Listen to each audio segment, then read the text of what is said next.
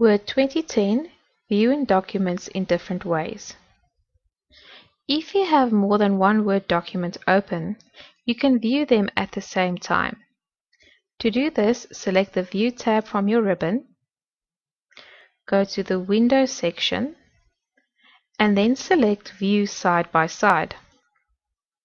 This will show your second document, and now you'll be able to compare the two with each other.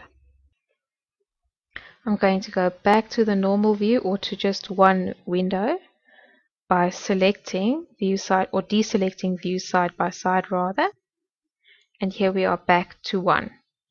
You can also set your different zoom levels by selecting zoom and then selecting the percentage that you would like to zoom.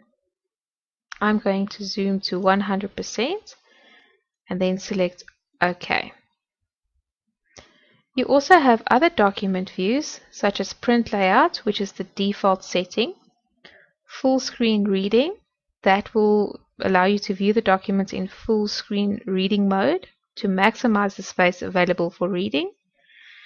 You could also change it to web layout to see what it would look like if you were to publish it to the web. You also have outline view that will allow you to view a document as an outline it will also show you some other outlining tools that could potentially be used. And then you could also view it as a draft. Okay, and the draft um, is usually used to quickly edit text. And that concludes our lesson on Word 2010, viewing documents in different ways.